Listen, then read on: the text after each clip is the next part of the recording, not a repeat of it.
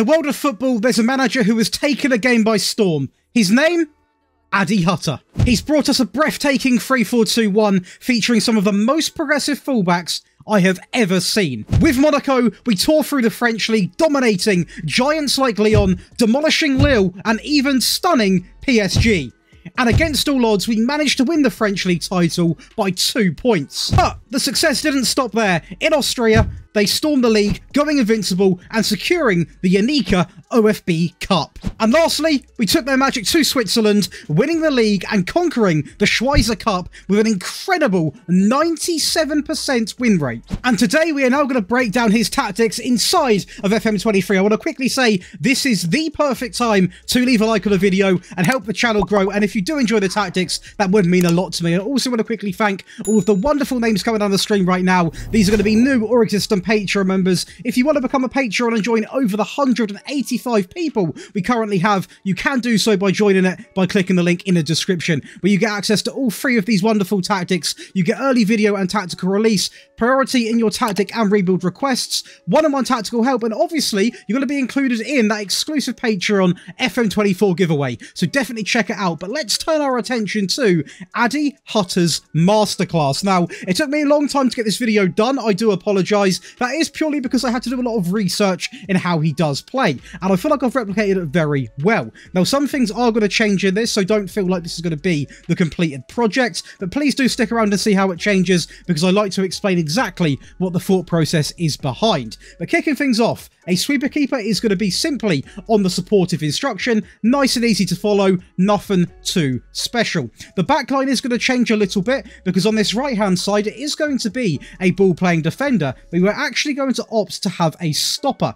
And we are also going to do that on the left hand side, and that makes the back three, the three centre backs, two stoppers and one that sits a little bit deeper. And that's a very common thing to see in his system. Two of the centre backs are a little bit more aggressive, stopping as it says on the tin, and one that is going to sit a little bit behind. Now, you could even, if you really wanted to, have this ball-playing defender on cover, but in my opinion, from playing the game and actually seeing it, it doesn't really work too well. So that's exactly why we've got him just on the default basic instruction and it works really, really well. Now, of course, as I mentioned in the intro, the fullbacks are literally the most important part of this team, in my opinion. They are so influential. I cannot stress this enough. So they're not going to be complete wingbacks. They, of course, are going to be, we'll change it now, they are going to be wingbacks both simply on attack. And their instructions are going to be cross more often, and also stay wider. So let's change it on this one as well. There we go. That is going to make up your back five. Now, these wing backs, guys,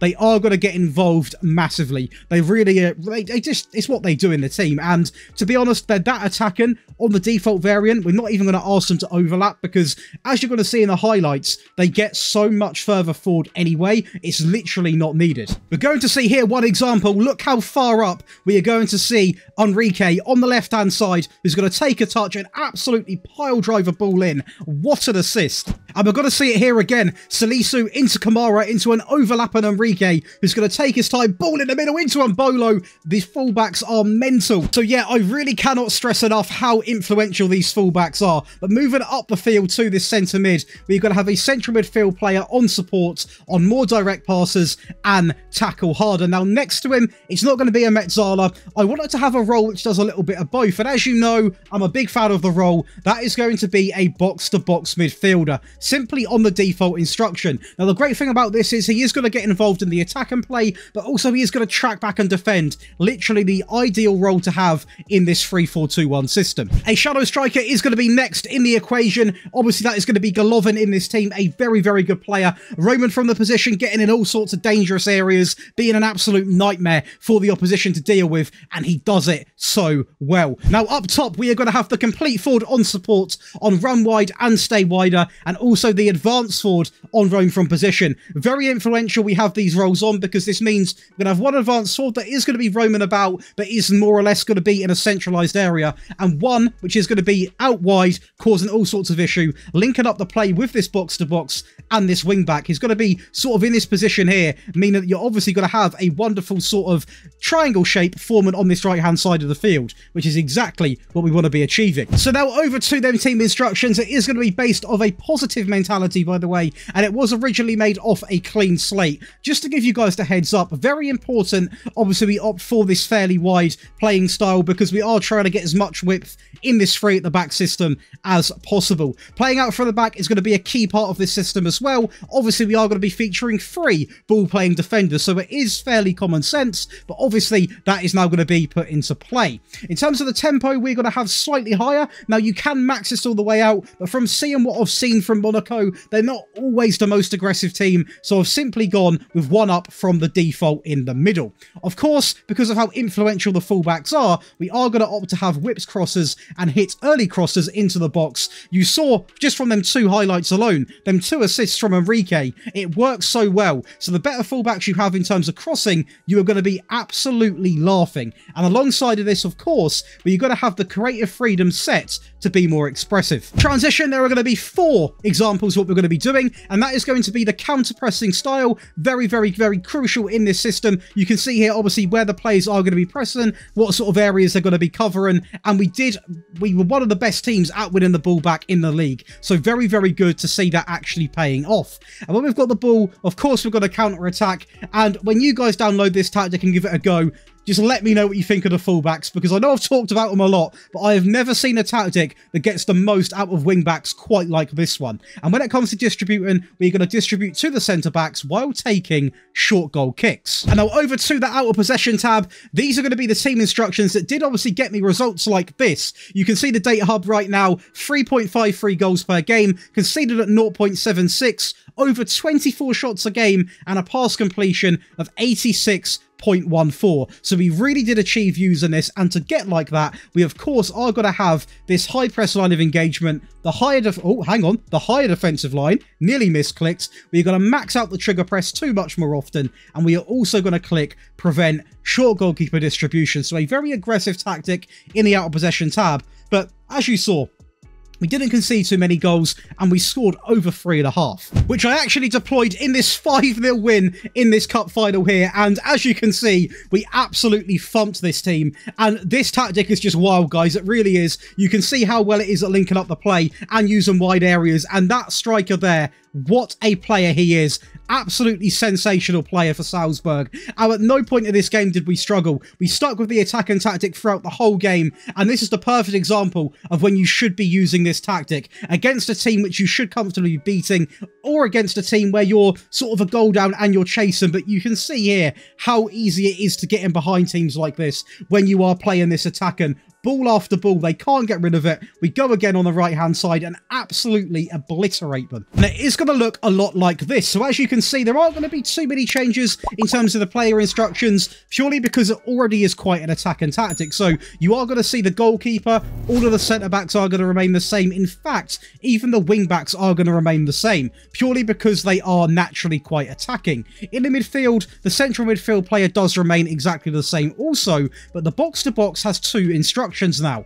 Get further forwards and also move into channels. Obviously, just getting that box to box a little bit more attack and minded, which of course is what we're trying to do in an attacking tactic. The Shadow Striker also is going to come into play and stay on that roam from position, and purely because it does score more goals inside of FM, I have gone with two advanced forwards up top. On the right hand side, a roam from position, exactly the same as what the CF was in the sort of default variant, and on the left-hand side, another advanced forward who is also now going to be just on the roam from position. So we've gone for a more narrow approach in the attack and variant, and yeah, it does get goals. In terms of in possession, of course, the mentality is going to go from positive to attacking. And in terms of the additional instructions on here, we are now going to overlap left and overlap right, meaning these wingbacks are essentially going to be acting like wingers. They really, really are. We also have maxed out the tempo to higher, obviously getting a little bit more urgency into the game. And alongside of this, we have now got run at defence. Transition, a couple of changes do come in.